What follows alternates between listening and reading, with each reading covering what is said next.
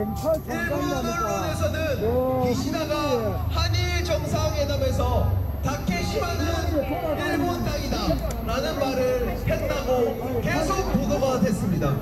한때 김태효 국가보실 1차장이 회담에서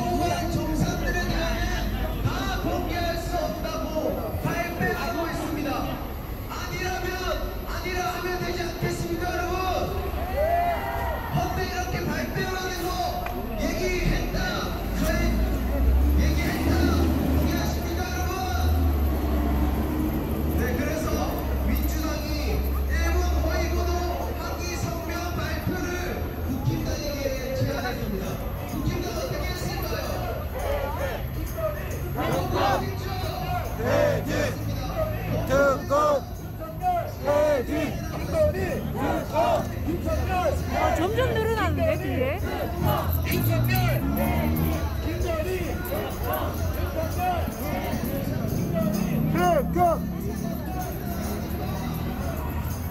와 저 봐. 나 중간에서부터 되는데도 봐. 아, 엄청 많은데?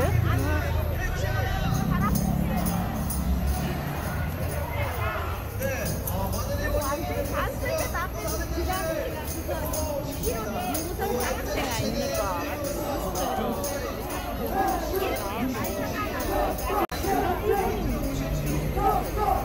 그래서 그런 말을 안 말하는 거라 지금만 뭐가 쪽이 일본인일 수도 있어 그래갖고 지금 아버지가 그 여자하고 결혼해갖고 일본 유학 했을 때 돈을 받았을 수도 있어 그렇죠. 그렇죠 그 외가 쪽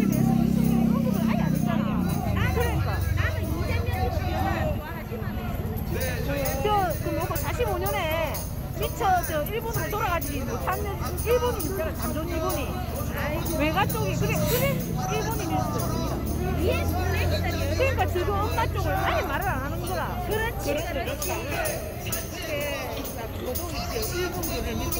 그러니까 그러니까 그 남녀 보랑 사랑개교라고 뭐 보랑개교.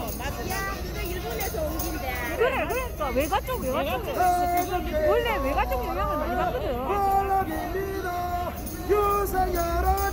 퇴진하고 비거리 깜빡 여러분 국민들 소망입니다. 소망을 좀 그리고 지금 아버지가 그렇게 막그 뭐고 무슨 가부장적이라 그런 아닙니까 일본 여자들이 남편 말은 무조건 듣는 거예요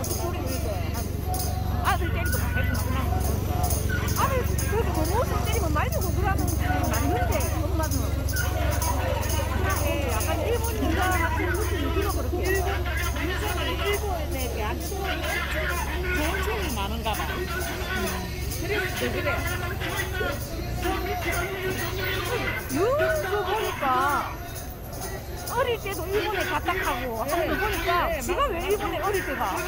얘가 좀 이거 있었으니까?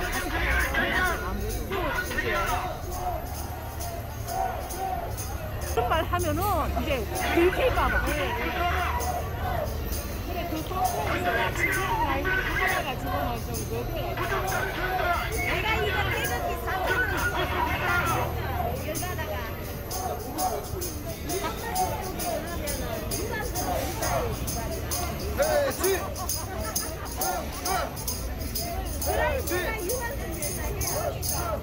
Thank